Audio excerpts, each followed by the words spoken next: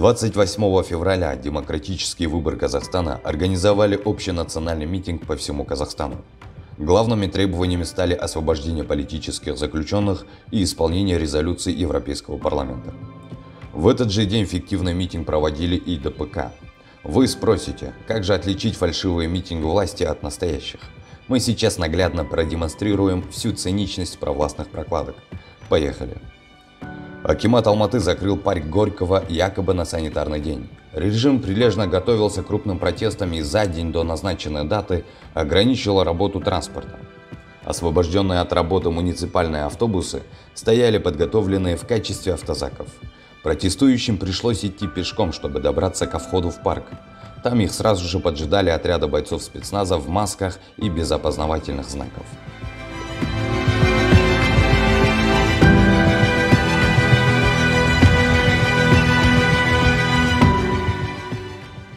В Астане активисты запланировали собраться в 11 часов дня в мечети, чтобы прочитать молитвы в честь Дулата Агадила.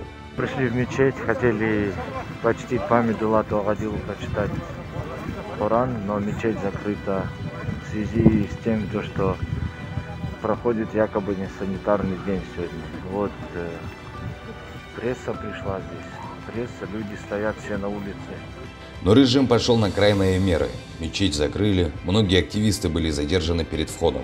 Около мечети, конечно же, тоже были жесткие задержания.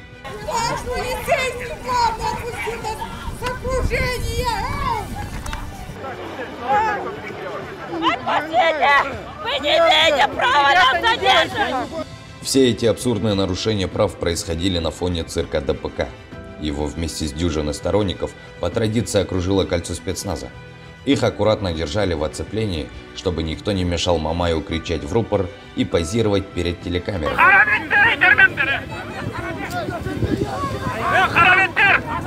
Складывается впечатление, что бойцы в черных масках присоединились к митингу. В оцеплении спецназа можно было спокойно поговорить по телефону или закурить сигаретку. Особенно бережно спецназ охранял Макса Бакаева на митинге в Атрау. Хоровод на площади сложно назвать оцеплением, ведь митингующих спокойно пропускали через кольцо и спецназовцев. Мы видим, что в Кетлинге ничего такого не происходит, беспрепятственно так называемый происходит протест. Дайте пройти наблюдатель. Вот Катюня наблюдатель. Дайте пройти, наблюдать. Обратите внимание, что в Адерау сотрудники СОБР пропускают наблюдателей и выпускают из кольца. Но они выпускают не только наблюдателей, они выпускают в том числе членов партии ДПК, которые позиционируют себя оппозиционными. Вот сейчас смотрите, каким-то абсолютно странным образом СОБР внимательно слушает и выполняет требования членов партии ДПК. Вот они сказали разойтись, и уже Кетлинга так как такового и нет. Не ведитесь на проект Хусанов-2, каким на самом деле является ДПК. Режим Назарбаева никогда не проявляет лояльность и терпение, когда вопрос касается протестов. Активистов сразу задерживают, штрафуют или сажают в тюрьмы по сфабрикованным обвинениям. А цирк с очередной блокадой протестующих – откровенная попытка обмануть Запад и наших граждан.